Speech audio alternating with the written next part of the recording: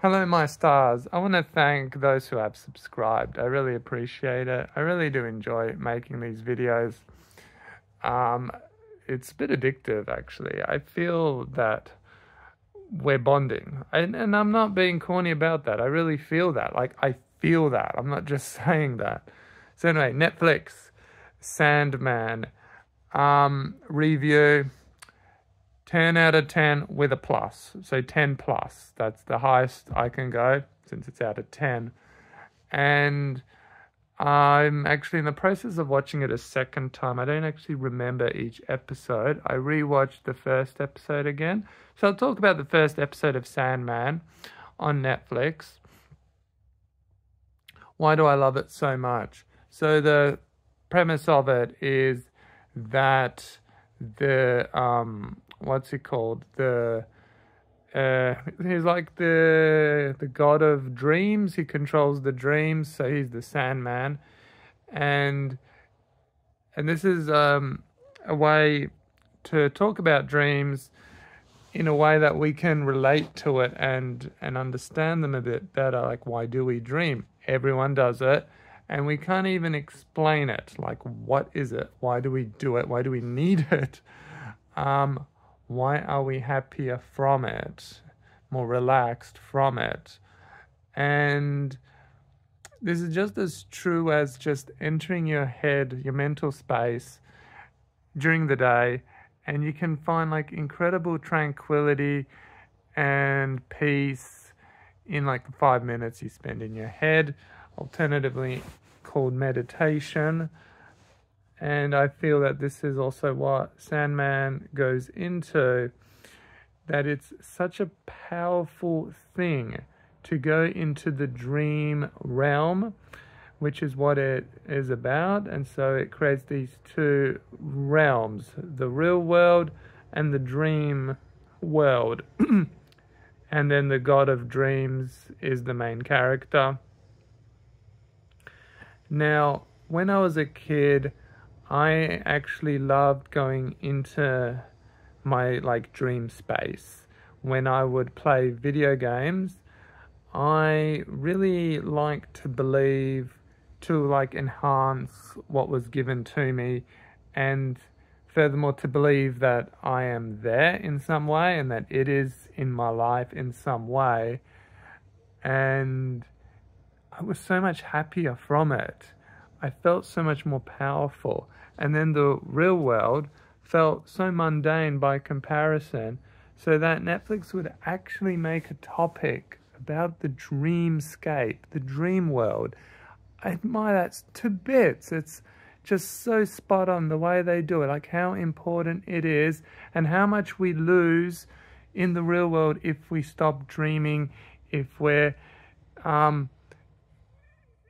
you know, if we're losing our way, which one couldn't argue, as Netflix does in this, that we are losing our way and we're not um, in sync with nature, with peace, with meditation, with people, and so on.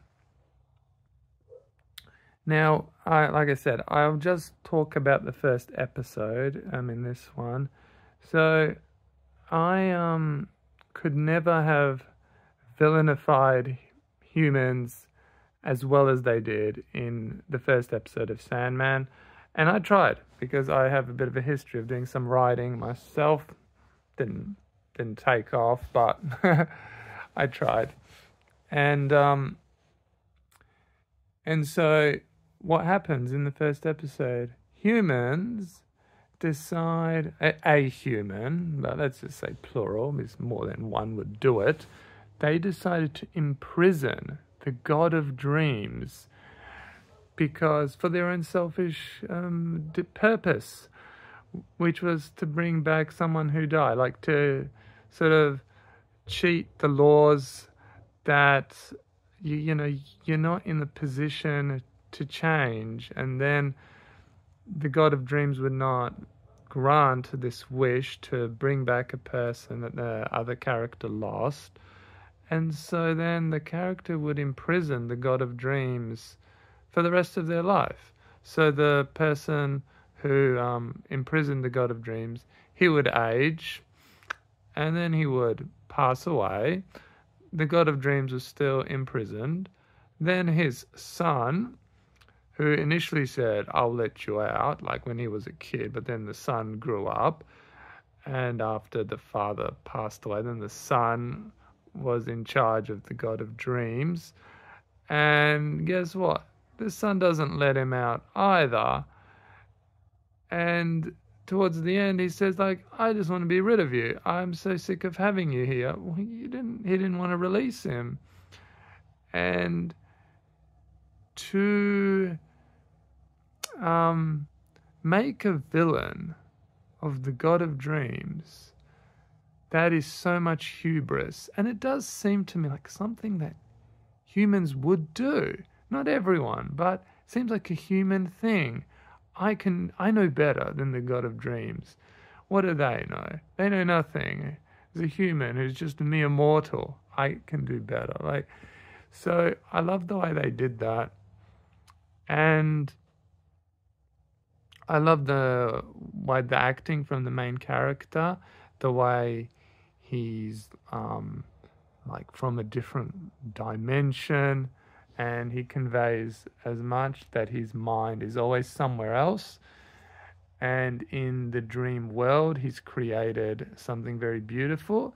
And this also touches base with what we can do in our own mental space. We can create something beautiful in our own dream world, and it can give us a lot of happiness. I've felt that a lot when I was younger. I'm a little older now, so I don't feel it as much as I used to. Furthermore, as I always say, I've got a fiance now who um, maybe she'll appear one day on one of these videos. So, anyway, he's got the dream uh, dimension, and I just think it's brilliant because people without the dreams they lose everything. And and there was like a pandemic when the god of dreams was uh, imprisoned because people couldn't sleep like other people. And actually i wonder if this is based on some true event where this was like a phenomenon that was happening. People like millions of people were not able to sleep. I would wager it may be true i'm just not learned on what it was and, and the details of it um, so, and towards the end of the first episode, the God of Dreams does escape. So he's back, and um, and he's very powerful. I like that a lot.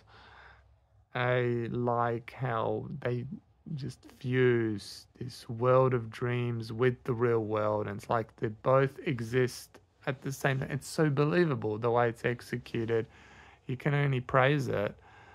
Um, the God of Dreams wants to catch this nightmare that went rogue.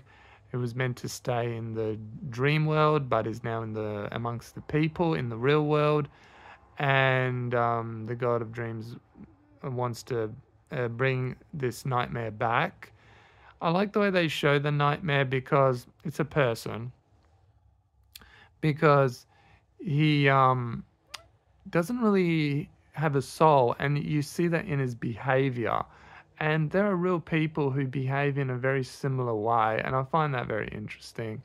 And I, I'm not a huge fan of the eye thing they did, though. Just a heads up where, um, because the nightmare is a creation, he his eyes don't look normal, and that's all I'll say.